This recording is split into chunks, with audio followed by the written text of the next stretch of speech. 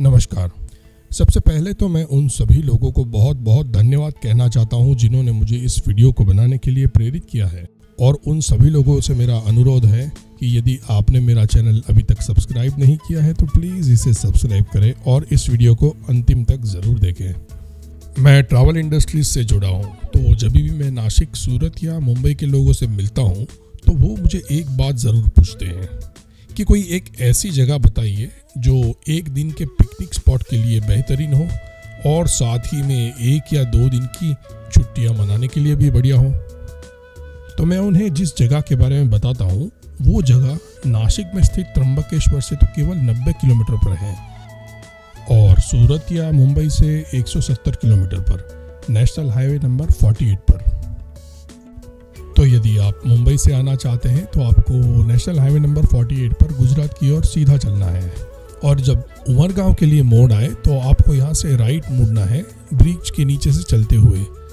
यहाँ से एक घंटे का रास्ता ज़रूर है। वैसे ही यदि आप सूरत से, बलसाड़ से या गुजरात की तरफ़ से आ रहे हो तो आपको वापी तक सीधा चलना है।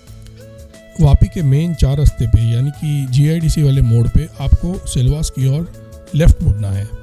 यहाँ से सिलवास होते हुए तकरीबन एक डेढ़ घंटे का रास्ता ज़रूर है।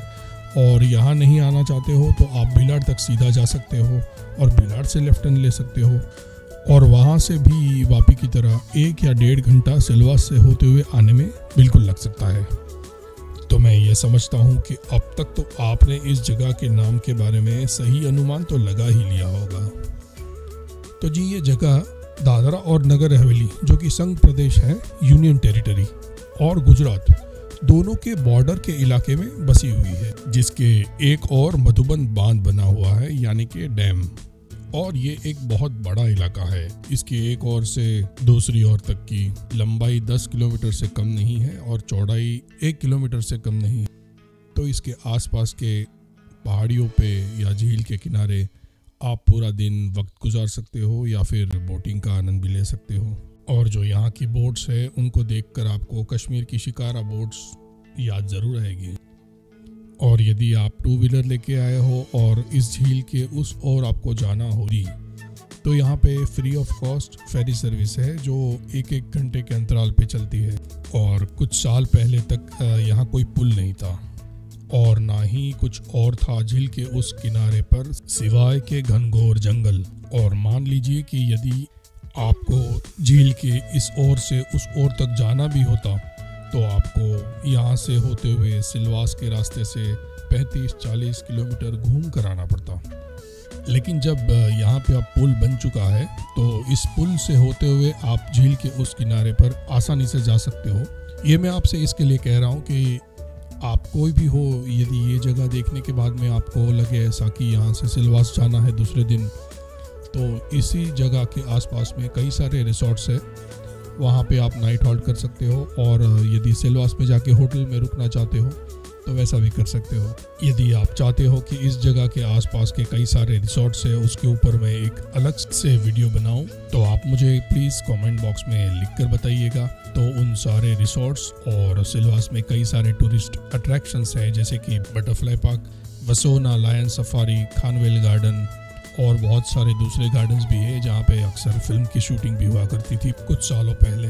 एक और ऑप्शन ये है कि यहाँ से आप दमन की ओर जा सकते हो और वहाँ पर भी जो टूरिस्ट अट्रैक्शंस है, उन्हें देख सकते हो और यदि यहाँ से आगे चलना हो मुंबई की तरफ़ तो आपको कोस्टल हाईवे से होते हुए उमर गाँव में बीच है, डहाणू में बीच है और पालघर में भी बीच है।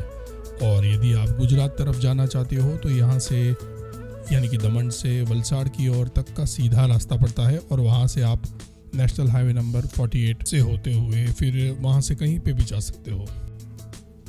और इस सुंदर सी जगह का नाम है दूधनी।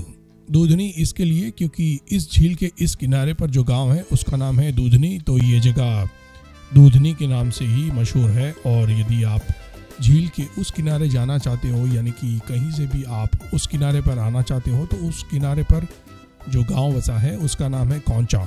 मेरे बनाए हुए दूसरे काफ़ी सारे वीडियोस हैं, जिनके लिंक मैं डिस्क्रिप्शन बॉक्स में शेयर करता रहूँगा। तो आप जब चाहे उन्हें देख सकते हैं, और यदि आप चाहते हैं कि कोई स्पेसिफिक लोकेशन या टॉपिक के ऊपर आप वीडियो देखना चाहते हो तो मुझे कमेंट बॉक्स में लिखकर ज़रूर बताइएगा। और यही थी सारी चीज़ें जो मैं आपको इस वीडियो के माध्यम से आज बताना चाहता था। यदि आपको मेरा ये वीडियो पसंद आया हो तो आप इसे लाइक करें और आपके जो भी कमेंट्स हैं, इसे कमेंट बॉक्स में ज़रूर लिखें और इस वीडियो को अपने मित्रों के साथ में, दोस्तों के साथ में, परिवार के साथ में शेयर ज़रूर करें।